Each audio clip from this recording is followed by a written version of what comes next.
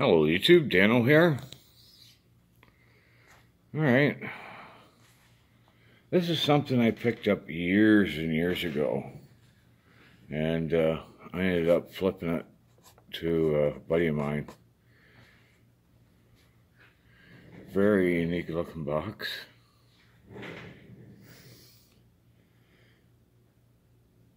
It's a Cig-a-lite lighted cigarette dispenser deluxe model.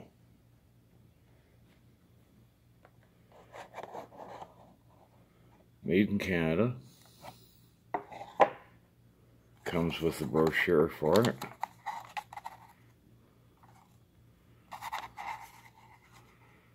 And it dispenses a cigarette for you. Designed for driving safety and pleasure. $12.50.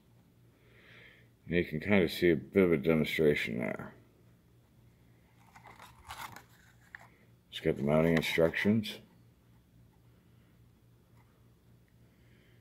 Designed for 6 volt battery, which means it's designed for vehicle free, I think 1938.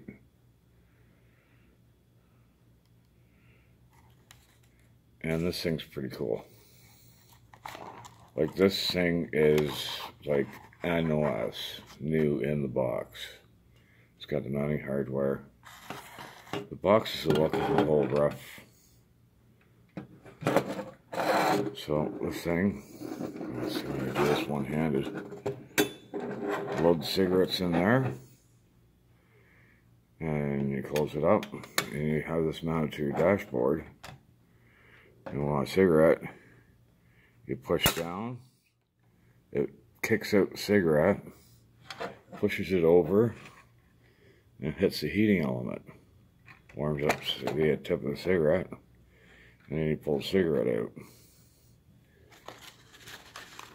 I don't think these are going to work because they're, uh, yeah, king size. You get the picture. He just taps it over, lights it, and then you pull the cigarette out. Pretty cool item. I ended up uh, doing a clean out. I had a property uh, not too far from here. And uh, I found this in the garbage. They just tossed in the garbage. I happened to pick up the box. Noticed there was something in it. Opened it up and that was it. Very unique item. Definitely uh, pre-war, I would say anyways. But yeah let me know if you've seen them. Um, at the time when I found it, I looked up a few and I seen a couple examples. One was painted black and uh, the other one was really, really rusty. But yeah, quite the unique find. Alright, everybody. Like, comment, subscribe, share. Hey, just stop by and say hello. Danoh's Toolbox out.